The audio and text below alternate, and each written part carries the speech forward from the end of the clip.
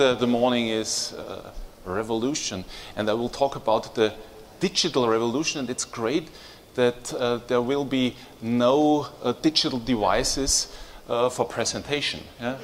So those are part of the revolution. Uh, yeah, um, my topic is not only to talk about the digital revolution. Uh, I would like to look back into the history to learn more about revolutions in the music uh, industry. Uh, and I would like to ask the question and to answer the question where does the revolution comes from? What are the drivers of a revolution? Uh, and if we look at the current situation in the music industry, we can see okay, we have decrease in production costs. Music is produced by laptops on the computer, uh, not in a sound studio, which was very, very expensive in the former times. Uh, the manufacturing is uh, manufacturing costs uh, are decreasing because a digital file does not cost uh, the world. Uh, and uh, yeah, think about record, think about CD pressing. This is a very costly matter we have a disintermediation. This, this means uh, you can directly connect as an artist uh, with the audience, uh, and, and you do not need uh, a physical distribution network or something like that. Uh, also, part of this revolution is that we can uh, cherry pick music now.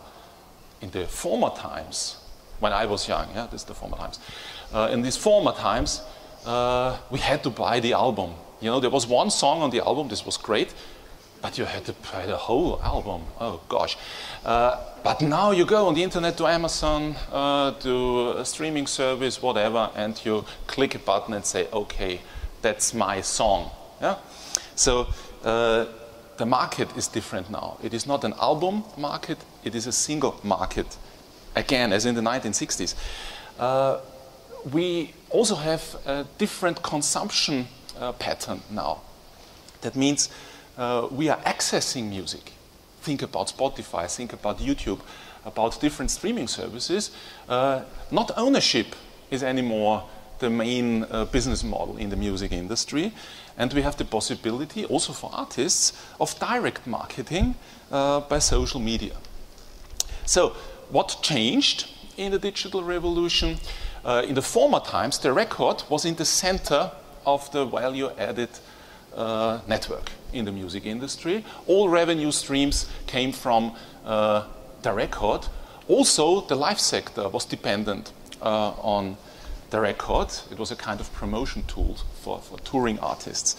Uh, but now the artist moved um, in the center of the value added network, and all uh, revenue streams depend now on the artists. Uh, but as I promised, I would like to ask the question or put the question what are the drivers of such a revolution? And it helps to look back into the history of the music industry uh, to the 20th century, back to the 20th century, uh, and we can identify that there was not only just this digital revolution current digital revolution. We also had uh, a, a, revolution in the music industry in the 1920s and also in the 1950s. Uh, in the 1920s, the jazz revolution, and in the 50s, the rock and roll revolution. revolution. And I would like to explain uh, something more later on both revolutions because we can learn uh, from these revolutions to understand the current situation now. So, uh, this is the business cycle of the music industry, not the global music industry, but uh, the US music industry, because we have the numbers and we have always US dollars, uh, and therefore it's possible to show the business cycle from really early times when the shellac uh, was uh, distributed, and uh, later with music cassettes and vinyl records and all these digital formats. Yeah, so we have the possibility to compare. So we also can see that revolutions has something to do with the market. We have uh, sales declines when uh, revolutions hit an industry, not only the music industry, uh, and we can see it here. If we look closer, we can see this was really tremendous. We can see it here in the 50s, and we can see it here. Okay, this is clear. Yeah, this is a sales decline. Uh, and it's not, not that good for the music industry or for the, for the record labels. Uh, so let's start uh, with the first, first revolution in the music industry. I call it the jazz revolution. Um, and I start with the sales decline. In 1921, the whole US uh, recorded music market had a volume of 106 million US dollars. And this volume was demolished, more or less. Uh, in uh, this is here, 1933, we had just 6 million for the whole US market. Imagine that. So 93% of the recorded music market was destroyed by this revolution. You can say, okay, uh, this was the year 1929, the Black Friday, and the Deep Depression. That's true. But if you look closer, you can see the recession started uh, immediately after 1921. Uh, the sales decreased from 106 uh, million to 75 million in 1928. And so we have to ask the question why? What happened in, in this uh, period? And uh, we can see that different forces are the drivers of such a revolution. In the special case of the 1920s, uh, we have commercial radio. The first radio station, the first commercial radio station, opened uh, or started to broadcasting uh, in, on the 2nd November 1920. K, uh, KDKA Pittsburgh was the first uh, broadcasting station in the US, but also worldwide. Uh, and broadcasting revolutionized uh, the music industry because music was for free now. Yeah?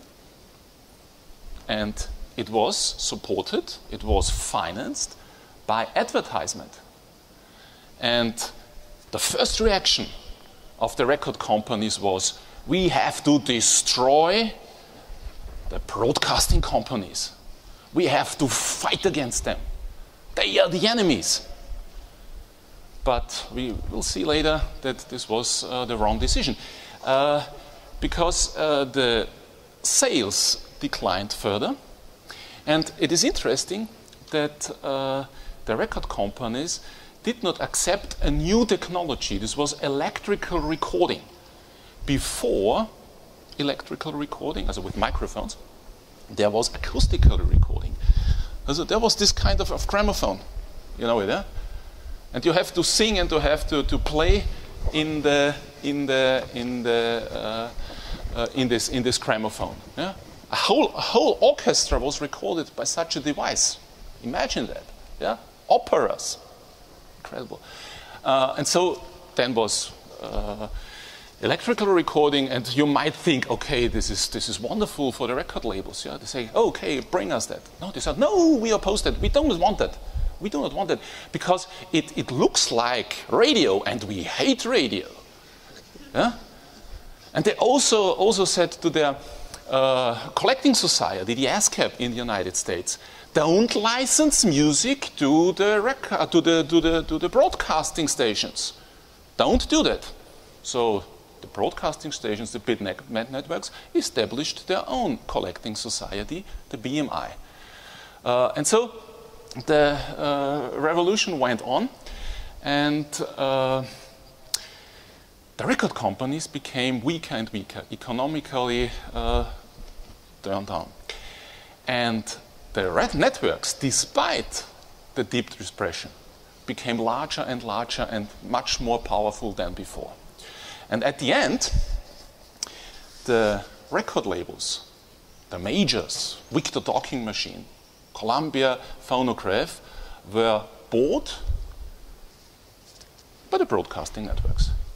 In 1929, the Radio Corporation of America, the RCA, bought Victor Talking Machine. Some years later, Columbia Phonograph was bought by CBS, Columbia Broadcasting Systems. And the broadcasting uh, companies subordinated uh, the record labels to their logics. So this was only a side business. To sell records was only a, a side business uh, for the big broadcasting networks in the US.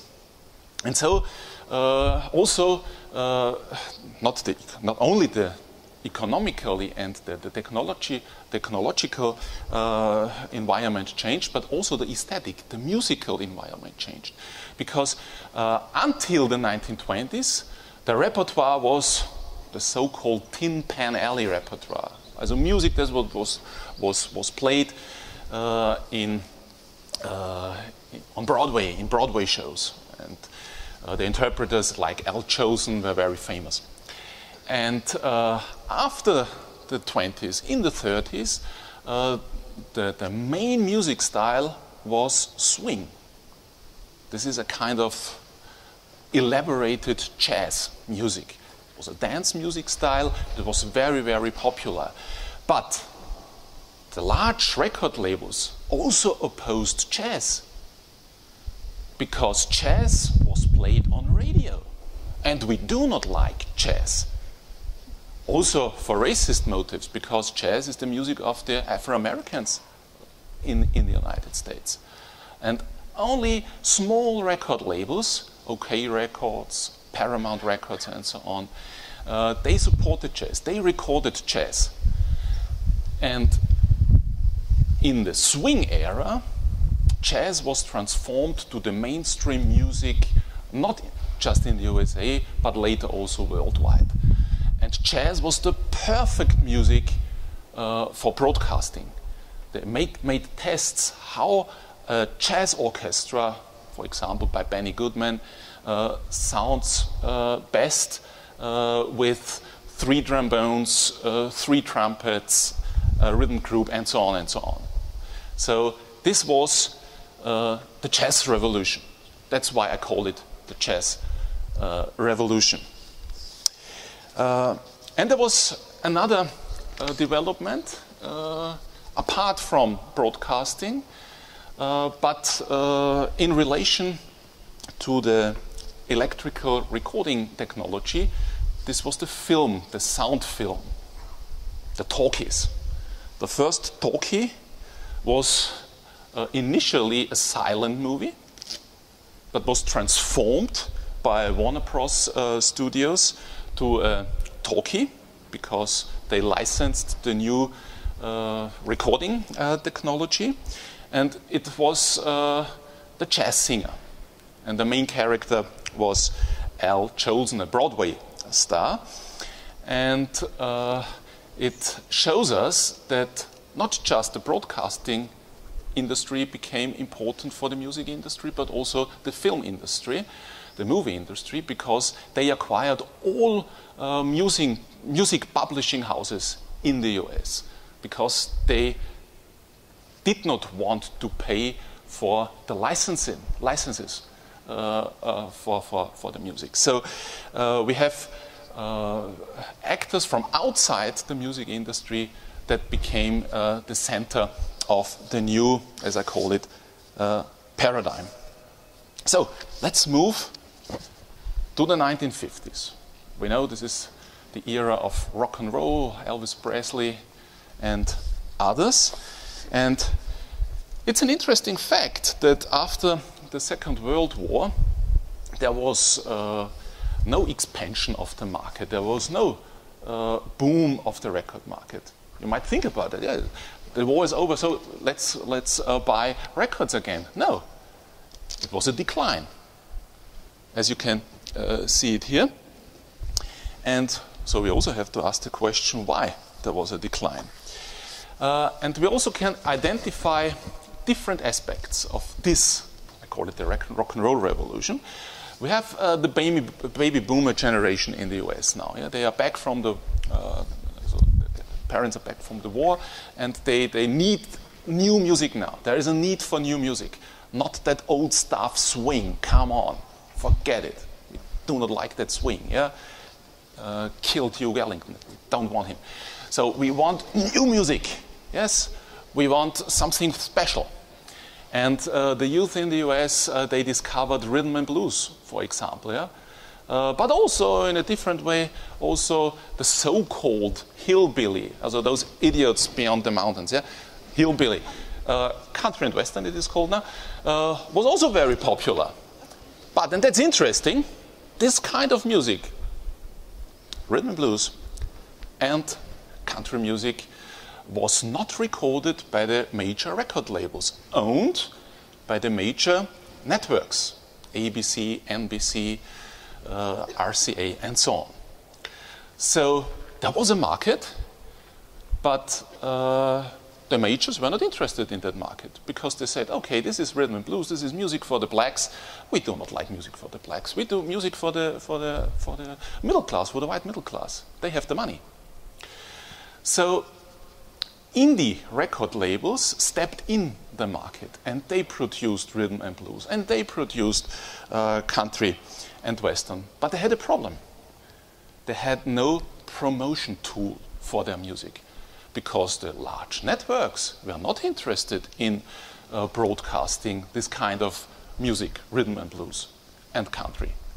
So there was a very important decision now in 1947 by the Federal Communications Commission, responsible for licensing broadcasting stations in the US, and uh, until that year, uh, in each market, as in each state, only three up to five uh, licenses were given to the large networks.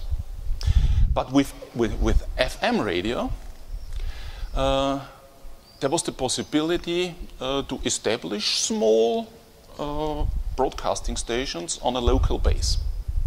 And so uh, the licensing policy was uh, liberalized. And hundreds of, of uh, small, uh, underfinanced, undercapitalized broadcasting stations were established around the entire United States. but they had a problem. They had no repertoire because neither BMI nor ASCAP wanted to license their music to them. And they had no possibility to play the records of the major record labels because, okay, you are the enemy. You do not get our music. We do not license our, our uh, records to you. But at the same time, there were the indie record labels with the rhythm and blues and the country repertoire. And they needed the promotion platforms of the small radio stations. And there was a technological uh, invention, a very important one for this development. This was vinyl record. It was, was invented by the majors, by uh, Columbia and by RCA, but uh, vinyl is more or less unbreakable. If you, if you, if you uh, take a shellac and it, it, and, and it it breaks immediately if you make something wrong. But with vinyl, it was, was easy to distribute it uh, from the small record labels to the small uh, radio stations. And the, the, the distribution costs uh, sunk dramatically in these times. So we have a symbiosis now of uh, FM radio and independent uh, record labels. Uh, and the record labels uh, had a fierce competition among each other because uh, they have to distinguish from themselves. Yeah? We had now, uh, instead of five or six record labels in the US, we had now more than 150. And uh, so they, they started to experiment. Yeah? So they, they started to amalgate country and western with rhythm and blues. Think about, or think of Bill Haley rock around the clock. This is a typical way to amalgate this. Or think about uh, Sun Records. Sam Phillips, the owner of Sun Records, he asked a, a young white truck driver with a black voice uh, to record. For one year, uh, he made test records. And then the first record of, of Elvis Presley went out. Yeah? This was also experimenting. Or think about the electrification of blues. All the, so most of the black, the Afro-American musicians uh, went from the south to the north because there was, was uh, there were, were, jobs, yeah? and there, were, were and there was racism in the south, and it was better in the north. And also the musicians went north uh, with their acoustic guitars. But now the electrical guitar was invented, and one independent label, Chess Records, not jazz, the music style, but jazz, yeah, to play jazz, uh, they uh, electrified the blues, Muddy Waters, for example, and others. So we have also uh, aesthetical innovations that drive uh, the revolution in the music industry, and uh, the result of all this experimentation was rock and roll, and that's why I call it the rock and roll revolution. Okay, rock and roll is over in the late 1950s as a, as a music genre, as a style, but it was it fueled the whole rock business in the 1960s with the Beatles, with the Rolling Stones. Uh, they, they referred to West American artists, and they come from the United Kingdom uh, to the US as the so called British invasion, as the US uh, companies called it. So this was the second revolution uh, in the music industry. So you might ask, what happened here? This is not the revolution, as you see. The revolution is here. So what happened here? Uh, so I am able to uh, to went back because uh, yeah, I, I, I, can I can remember what what, what happened here. Uh, in the late 70s, the main music style was disco. Yeah? You might know Saturday Night Fever, yeah? this famous film. Uh, it's interesting that uh, disco music was not invented by the, by the majors, as you might believe. No, it was invented by the indies. Yeah? And it was later adopted uh, by the majors because it was a wonderful business model. Also, hard rock and heavy metal was also not invited by the, by the majors, or by the indies. Yeah? Uh, so the, the, the, 60s and the 70s is a, is a, is a, is a very innovative uh, period for new music styles. Hip hop also appeared in the late uh, 70s. Punk rock uh, appeared in the late 70s. Uh, also, electronic music appeared in, in, in these times. Yeah? Uh, so we have now the disco craze. This is the disco craze, you see. Yeah? this, the market was fueled with disco music, but exactly uh, in, in springtime of 1980, the, uh, the disco craze was over. Yeah? They burned disco, record, disco records in the US because the youth hated disco in the 80s. So the sales declined. And uh, all innovations on the musical fields uh, were made there was, there was, I call it a kind of creative crisis in the music industry. And the majors answered this crisis with the superstar business. Huh? Michael Jackson appeared on the scene as a solo artist. Before he was part of the Jackson Five, yeah, the small boy, little Michael. Yeah, but now he is an adult, and now the second career started. Uh, there was Prince, Madonna, Bruce Springsteen, you name it. So they said, okay, we do not want to segment the market uh, as the indies did, because the indies are specialized in different fields on, on uh, punk rock or on hip hop or whatever. Yeah? Uh, they wanted one business model, and this was superstar pop. Yeah? And uh, also another invention helped uh, music television, MTV. It's also in the in the early 1980s. Uh, but the main saver of the music industry in these times was not the music, it was the CD. The CD was introduced in the market in 1982 by Philips and Sony.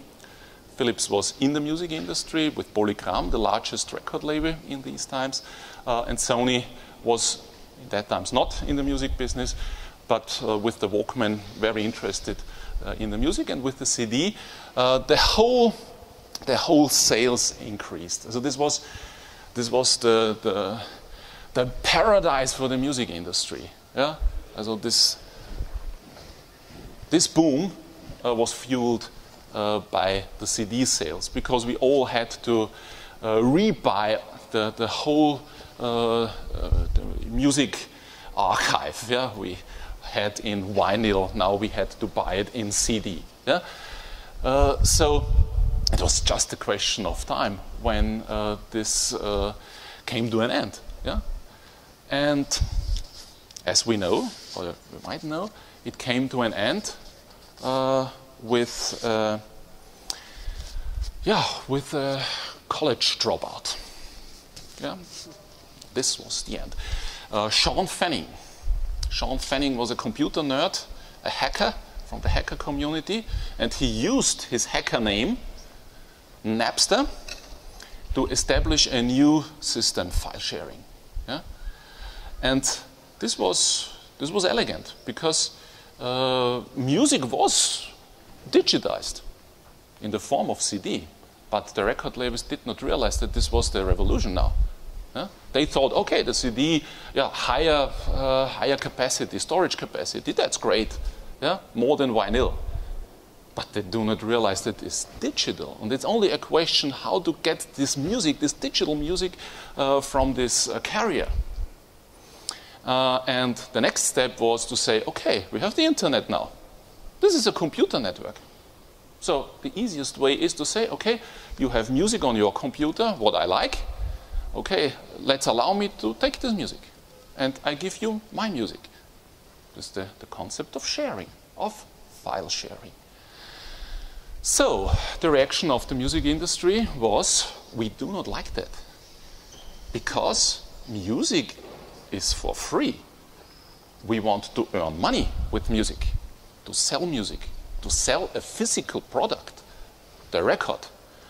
And so the music industry fought against Napster and then against other file sharing uh, services and even against, until now in Germany and other countries, against individual file sharers.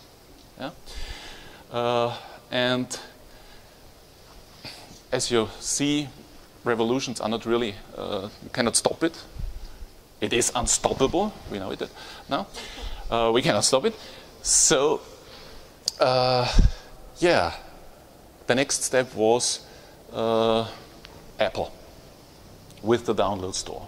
Yeah, this was the legal way to acquire uh, music in a digital way, and in, in, in a short period of time, Apple with iTunes, with the iTunes store, conquered the market. In the US, 80% of all download sales are made uh, on, on the iTunes store. This is really, really powerful. Uh, and then the development went on. As we know now, we have music streaming now. We have uh, different forms of uh, cloud computing, cloud solutions uh, to access music. Uh, and uh, yeah, this is, as I said before, a change from owning music to accessing and experiencing music. So we are in the midst of the revolution. And um, so let me ask, or let me show you the ingredients of a revolution in such an industry as the music industry is. Uh, if we compare all these revolutions, we can see the driver of the revolutions is outside creativity. So from outside the music industry, because there is a new thinking, a new acting. Yeah? We had it with broadcasting and the movie business here. We had it with independent uh, record labels uh, and uh, independent FM radio stations here. And we have it here now with Apple, Google, Amazon, you name it. Yes, we have a different way to think and to act. It is a kind of creative revolution too. Uh, we also have Napster and now Spotify. So, in this amalgam of, of different uh, developments, the whole value network uh, collapse. Got collapses. This, this means uh, we have now different possibilities to interact. And the result is chaos for the whole industry. And no one likes chaos. Yeah? Maybe theor- theoretics on chaos theory, maybe, but uh, yeah. Because chaos increases uncertainty, and we do not like uncertainty. Uh, and uh, this is also a period of destruction. Yeah, you see it. This is this is destruction. Yeah, so the sales went down dramatically, uh, but with a high level of creativity and innovation.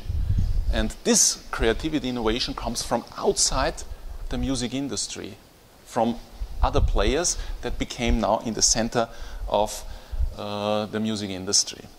And how does the established players respond, the large record companies, but also the indies? Uh, the first step is ignorance. In the 1990s, uh, the internet was, was still there, but internet, what, what's internet? We do not need that. Yeah, uh, we, we cannot use that. It's, it's made, made no sense for us. Yeah, a digital distribution. Come on, we are selling records. Yeah? So there was poor ignorance in the 1990s uh, towards uh, the internet and the digital possibilities. The next step is if you cannot igno- ignore something, you play down the relevance and say, oh, okay, yeah, this is now, this, this is now on the screen, yeah, it's, it's wonderful. But for our business model, this makes no sense. Yeah, we are, come on, we are, we are, we are producing records. We do not, we do not need the dig- digital uh, stuff. But if this does not work, to play it down, the next step is to fight against it. Yeah? And then there was the fight. There were the lawsuits against file sharing networks and against individual uh, file sharing. And in the, in the only, only very, very late is an acceptance and a redefinition of the rules for the whole business. But the redefinition is not made by the traditional players.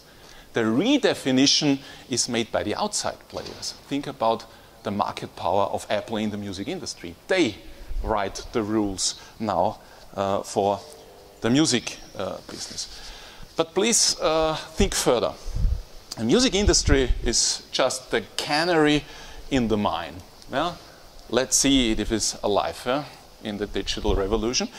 Uh, so we can study uh, the digital revolution with the help of the music industry to understand the whole uh, industrial revolution. It's, it's really a, a, large industrial revolution now uh, that reaches far beyond the music industry and far beyond uh, even the entertainment and media industry. I think the next step is the Internet of Things. And uh, those uh, manufacturers of material products, they have to think about when they will be affected uh, by the digital revolution. And if they have an answer for the digital revolution, and if we uh, look back from the year 20, uh, 2025 to this year, yeah, we can say, okay, this was so tremendous, so a tremendous change. We, we could not imagine in, in, in 2015 what happened. Yeah? Because we are in the midst of a revolution now. So, welcome to the revolution, and thank you for your attention.